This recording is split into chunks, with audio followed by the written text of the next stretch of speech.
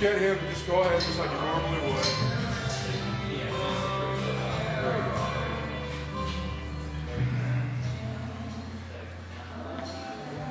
Dude, that's a great back exercise, but I'm going to show you how to go live. We're going to open up the movement with that.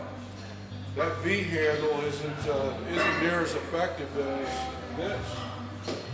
LPG muscles, new freestyle seated row. So we're going to hook this up, and I'm going to turn you on to some more movement. Yeah, buddy. More movement equals better uh, muscle growth. Okay.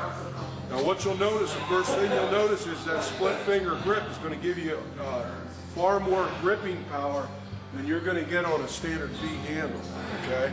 Because of the split grip. So go ahead and latch onto those. And I want you to start out with your palms facing down. And as you come back, I want you to rotate your hands and draw your shoulder blades together in the rear. Okay, here we go. Beautiful. Oh, much bigger.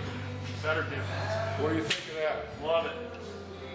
Because it's so, it's not restricted as much as. This locks you into a particular movement pattern. You've got full freedom to target those muscles in your upper back. Yeah, are burning now. That'll light them right up. Well, what do you think of that grip? How's that work for you, Mike? I love the difference? I love it. The freedom, the motion, the freedom, everything's a lot better. It's really hitting the inside of the lats as well as the outside. Because I'm able to turn the hands and get more variety with my movement. Yeah. Whereas I'm not restricted now. Woo! Look at them veins popping. Freestyle seated rows. Nothing like it. Okay. That's good. Deal, Mike. Good. That was natural.